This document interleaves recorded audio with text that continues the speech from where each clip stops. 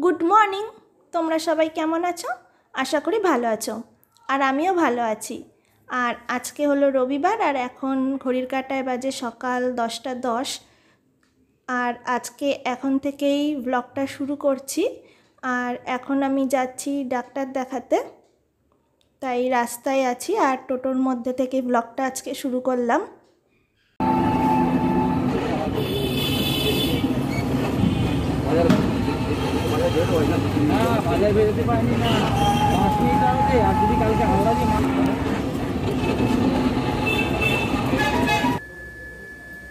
আর এখন ঘড়ির কাটা বারোটা বাজে, তো সকালবেলা দেখছিলে যে ডাক্তারখানে গেছিলাম। তো আজকে ডাক্তার বসেনি। ফোন করেই গেছিলাম, শুক্রবার দিন ফোন করেছিলাম, তখন বলেছিল যে বসবে। তো কালকে হয়তো কোনো এমার্জেন্সি হয়েছে, সেই জন্য কালকে নাকি নোটিশ টানিয়ে দিয়েছে যে আজকে বসবে না। তো যাওয়াটাই ফালতু হলো। ডাক্তার দেখানো তো হলোই না। আর ডাক্তার দেখাতে গেছিলাম তো দশটার সময়। উনি এগারোটার সময় আসে মানে চেম্বারে এগারোটার সময়, এগারোটা থেকে বসে। তো আমরা দশটার সময় বেরিয়ে গেছিলাম। তো সকালে খাবার দাবার খাওয়া দাওয়া হয়ে গেছে, কারণ খেয়ে দিয়ে গেছিলাম আর স্নান টান করে টোরে একবারে রেডি হয়ে গেছিলাম। তো ডাক্তার দেখানোর তো আজকে হলো না, আবার কালকে যেতে হবে। আর ডাক্তার তো দেখানো হলোই না ওইটার একটা কাজ হয়েছে। আসার সময় কি হয়েছে ওখানে একটা দোকান ছিল, দোকানের সামনে একটা সাইকেল দাঁড়ানো ছিল। আর সেই সাইকেলটা মানে আমার ধাক্কা লেগে না মানে নিজে আপন ইচ্ছা আমার পায়ের ওপর পড়ে গেছে। আর পায়ের ওপর পাটায় প্রচণ্ড লেগেছে, তো এসে আবার আবার পায়ের মধ্যে একটু বরফও বসলাম।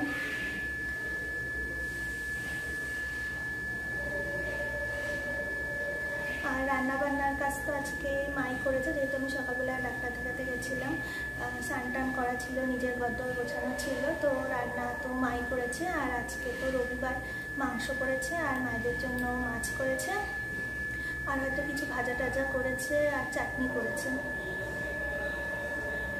তো মা রান্না টান্না করে এখন উপরে গেছে পুজো করতে আর আমি এখন ভাতটা বসাবো। ডাক্তার দেখানোর ডেট কদিন আগেই ছিল, তবে কদিন ধরে বৃষ্টি হচ্ছিল বলে যেতে পারছিলাম না, তো আজকে বৃষ্টিটা কম আছে সেই জন্য গেছিলাম। রবিবার হলে ভালো হয়, রাজু নিয়ে যায়, আর অন্যান্য দিন হলে মায়ের অসুবিধা হয়ে যায় মানে সকালবেলা উঠে কাজটা সেরে মাকে আবার দৌড়তে হয় তাই রবিবার করে বেশিরভাগ যাই যে রাজু বাড়িতে থাকে। তো আজকে তো হলোই না। আর এখানে এখন দুপুরের ভাতটা বসিয়ে দিয়েছি। যেহেতু সাড়ে বারোটা বাজতেই যায়, তাই দুপুরের ভাতটা বসিয়ে দিয়েছি। আর আমের চাটনিটা মা করে যায়নি, এখন আমের চাটনিটা করব। আমটা কদিন ধরেই ঘরে রয়েছে সেই জন্য দেখো পেকে গেছে একটু। আর আমের চাটনিটা করব, আর এখানে এটা মনে হয় মাংস। আজকের মাংসটা মা একদম কাঁচা লঙ্কা দিয়ে করে রেখেছে। কোনো রকম লাল লঙ্কার গুঁড়ো কিংবা শুকনো লঙ্কা টঙ্কা কিছুই দেয়নি, কাঁচা লঙ্কা দিয়ে একদম মাংসের একটা ঝোল করে রেখেছে।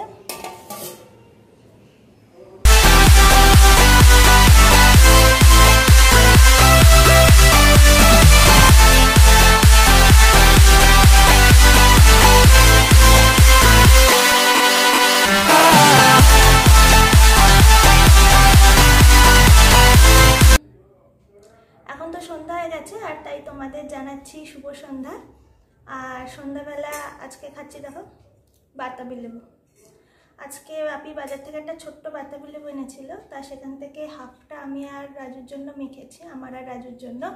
কারণ মা পুজো দিতে গেছে, আর বাপি হলো মাখা বাতাবি লেবু খায় না। সেই জন্য মাদের জন্য হাফটা রেখে দিয়েছি। আর আমাদের হাফটা দুপুরবেলায় ছাড়িয়ে ফ্রিজে রেখে দিয়েছিলাম। দুপুরবেলায় খাব বলে, তা দুপুরবেলার ইচ্ছা করছিল না তখন খেতে, তাই ফ্রিজে রেখে দিয়েছিলাম। এখন সন্ধ্যাবেলা মেখেছি, এখন সন্ধ্যাবেলা খাব। আমি আর রাজু আর বাপিটার মাঠটা রাখা আছে। ওরা যখন খায়, খাবে। আর ওদেরটা মানে বাপি তো মাখা খাবেই না। বাপি তো এমনিই খাবে আর মাও এমনিই খাবে। বাতাবি লেবু মাখা খেতে কি ভালো লাগে না বলো? একটু নুন দিয়ে, চিনি দিয়ে, লঙ্কা দিয়ে। আমার তো খুব ভালো লাগে।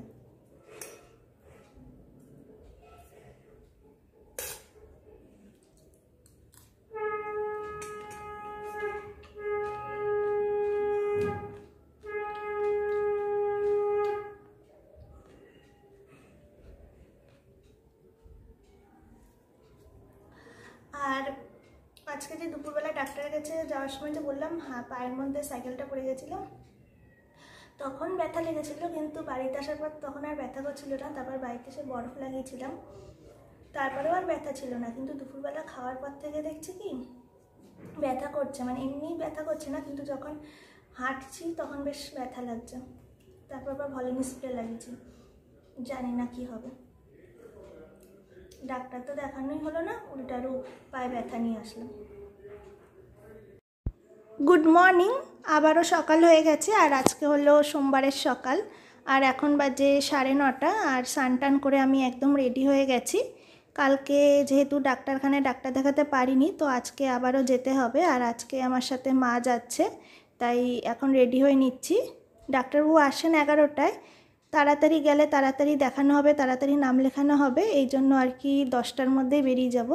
আর কালকে যেহেতু ডাক্তারবাবু বসেনি, আজকে অনেকটাই ভিড় হতে পারে, সেই জন্য আগে আগেই করে নিচ্ছি।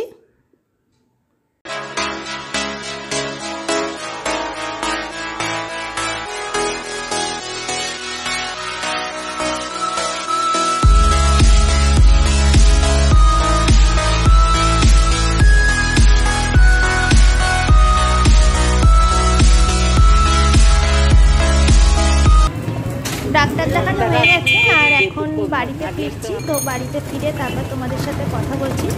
কারণ টোটোর মধ্যে প্রচণ্ড ঝাঁকুনি দিচ্ছে, মোবাইলটা ধরে রাখা যাচ্ছে না। ঘড়ির কাটা এখন বাজে একটা, আর ডাক্তার দেখিয়ে চলে এসেছি। এই দশ পনেরো মিনিট হলো এসেছি। এসে জামা কাপড় ছেড়ে আগে ভাতটা বসিয়ে নিয়েছি দুপুরের ভাতটা। আমি আর বাপি আছে দুপুরে, কারণ মার তো শ্রাবণ মাস, সোমবার। মা আজকে ভাত খাবে না। মা তো উপোস। সরি মা তো উপোস আর সকালবেলা সমস্ত কাজটা সেরে তারপরেই গেছিলাম। জানি যে দেরি হবে আসতে। যেহেতু ডাক্তারবাবু কালকে বসেনি, আজকে ভিড় হতে পারে। তবুও আমার তাড়াতাড়ি হয়ে গেছে। যেহেতু তাড়াতাড়ি গেছি, তাড়াতাড়ি নাম লেখানো হয়ে গেছে, তো তাড়াতাড়ি হয়ে গেছে।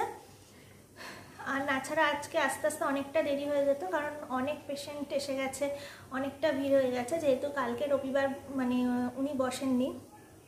আর সকালবেলায় কাজ টাজ সেরে সমস্ত কিছু সেরে নিয়েছিলাম তাড়াতাড়ি করে। সকাল সকাল ঘুম থেকে উঠে রান্না টান্না সেরে ঘর দুয়ারও মা পুছিয়েছিল তো ঠাকুর পুজো টুজো দিয়ে টিয়ে একবারে রেডি টেডি হয়ে গেছিলাম।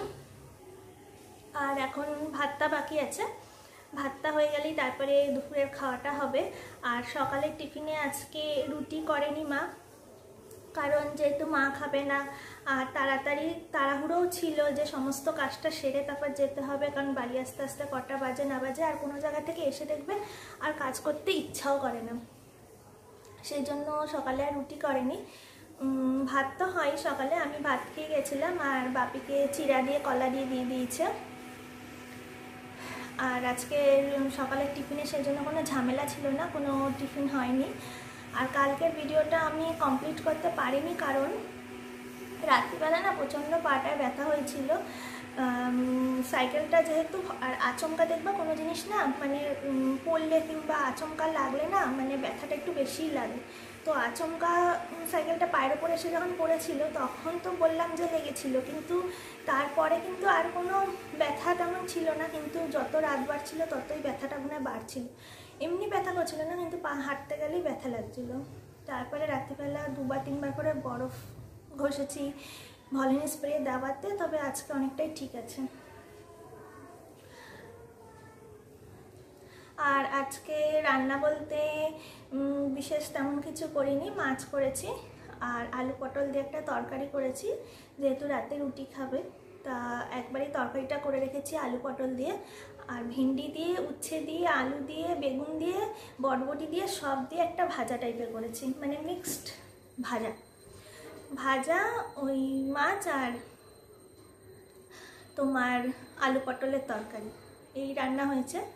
আর বিশেষ কিছু হয়নি। আর মা তো বললামই ভাত খাবে না, খাব আমরা দুজন দুপুরবেলা। আর রাতে তো রুটি খাবে সবাই আলু পটলের তরকারিতে একবেলার জন্য একটু মাছ করেছি। আর কেন জানি না আমার না ডাক্তারখানায় যাওয়ার আগে না প্রচণ্ড টেনশন হতে থাকে। তখন না মানে কারোর সাথে কথা বলা কিংবা কোনো রকম ভিডিও করা হ্যাঁ মানে আমার মানে আসে না। আমি যতবারই ডাক্তার দেখাতে যাই না কেন, ততবারই ডাক্তার মানে যতই বলুক না কেন আমার সব কিছু নর্মাল আছে সব কিছু ভালো আছে। মানে যতক্ষণ না ডাক্তারের মুখ থেকে শুনি যে হ্যাঁ ডাক্তারবাবু বলছে যে হ্যাঁ সব কিছু নর্মাল আছে সব কিছু ভালো আছে মানে ততক্ষণ মানে একটা টেনশন কাজ করতে থাকে। আগের থেকে এরকম কিন্তু হয় না। মানে ধরো যেদিন ডাক্তার দেখাতে যাব, ঠিক তার এক, দুই ঘণ্টা কিংবা সেদিন সকাল থেকেই মনে হয় কি হ্যাঁ ডাক্তার দেখাতে গেলে আবার ডাক্তার বলবে না, তো এটা হয়েছে ডাক্তার বলবে না, তো ওটা হয়েছে। কিংবা এটা টেস্ট করাতে হবে, এটা কম আছে, কিংবা ওটা টেস্ট করাতে হবে। হ্যাঁ আর টেস্টের কথা শুনলেই আরও বেশি ভয় লাগে, বাবা। টেস্টের রিপোর্টে কি আসবে টেস্টের রিপোর্টে কি আসবে? হ্যাঁ মানে প্রচণ্ড পরিমাণে টেনশন হতে থাকে। আর তো মানে সকাল থেকে সেই জন্য কোনো রকম ভিডিওই আজকে অন করিনি। সময় ভিডিও অন করতে পারতাম, সময় ছিল, তবুও করিনি এই একটাই কারণে যে ওই যে টেনশন একটা মনের মধ্যে টেনশন সবসময় কাজ করে। যে না ডাক্তারের কাছে গেলে ডাক্তার কি বলবে ডাক্তার কি বলবে? ডাক্তারের কাছে গেলে ডাক্তার যখন বলে হ্যাঁ সব কিছু ভালো আছে, সুস্থ আছে মানে আপনি সুস্থ আছেন, আপনার বেবিও সুস্থ আছে, ভালো আছে সেটা শুনলে মনটা শান্তি হয়। আর যতক্ষণ না শুনি, ততক্ষণ মনে হয় কি কি হবে কি হবে কি হবে কি হবে? জানি না কেন, আগে কিন্তু এরকম হতো না। মানে এখন দেখছি ইদানিং এরকম একটা মানে টেনশন সবসময় মনের মধ্যে কাজ করে। আগের থেকে হয় না, কালকে রাত্রেও এরকম হয়নি। মানে আজকে সকাল থেকে। মানে যেই ডাক্তার মানে টোটোতে করে যখন ডাক্তারের কাছে যাব হ্যাঁ তখন মানে বুকের ভেতরটা মানে ধপ ধপ ধপ ধপ করতে থাকে যে ডাক্তারের কাছে গেলে ডাক্তার আবার কি বলবে কি বলবে? আর এই জন্য জানো তো, প্রত্যেকবার ডাক্তারের কাছে গেলে আমার পালস রেট বেশি আছে। মানে প্রত্যেকবার আমার পালস রেট বেশি আসে। হ্যাঁ ডাক্তার বলে আপনি এত ভয় পান মানে এত টেনশন করেন কেন? কিন্তু কি বলো তো যখনই পালসটা মাপে পালস রেটটা বেশি আছে, বেশি আসে। টেনশন মানে করতে চাই না, তবুও কেন জানি না মনের থেকে চলে আসে যে ডাক্তারবাবুর কাছে গেলে ডাক্তারবাবু কী বলবে, কি বলবে কি বলবে। শুভ সন্ধ্যা, আর রান্নাঘরের ডিউটি আবার শুরু হয়ে গেছে মানে সন্ধ্যাবেলার চা বানানো। আর রাজু যেহেতু প্রতিদিন বৃষ্টিতে ভিজে ভিজে বাড়িতে ফিরছে, তাই ওর একটু ঠান্ডা ঠান্ডা লেগেছে। তাই আজকে চাটা আদা, গোলমরিচ, লবঙ্গ, তেজপাতা সমস্ত কিছু দিয়েই বানাচ্ছি। আর এখানে বাপির আর রাজুর জন্য চা বানাচ্ছি। বাপি যেহেতু চিনি খায় না, সেই জন্য চিনি দিলাম না। একবারে চাটা ছেঁকে রাজুর চাটার মধ্যে চিনি মিশিয়ে দেবো।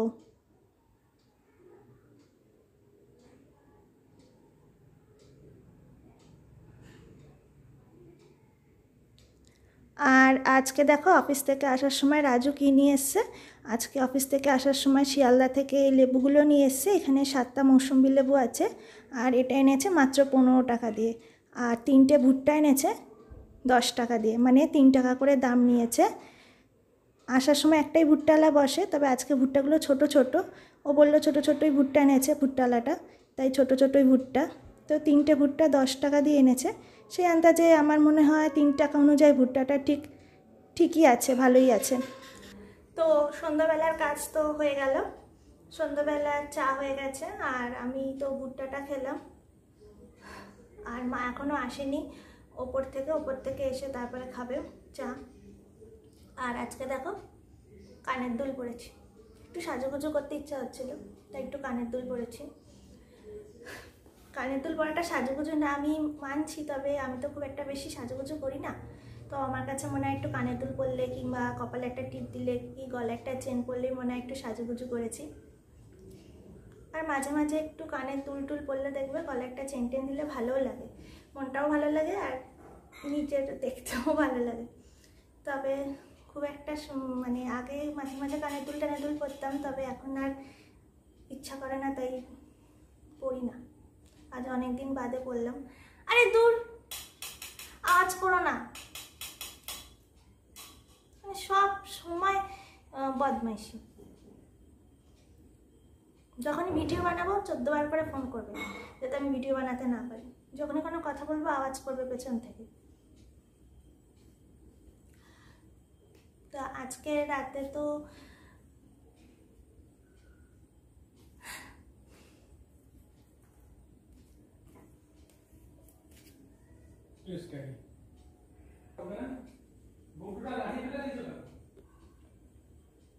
আরে ভুট্টাটা লাঠি আমি ফেলিনি। ভুট্টাটা ওই ছুলতে গিয়ে পেছনের ওইটা ভেঙে গেছে। ডান্টিটা ভেঙে গেছে। ভুট্টাটা ছুলতে গিয়ে পেছনের ডান্টিটা ভেঙে গেছে। তুমি ফেবিকুইক দিয়ে লাঠিটা আবার লাগিয়ে দাও।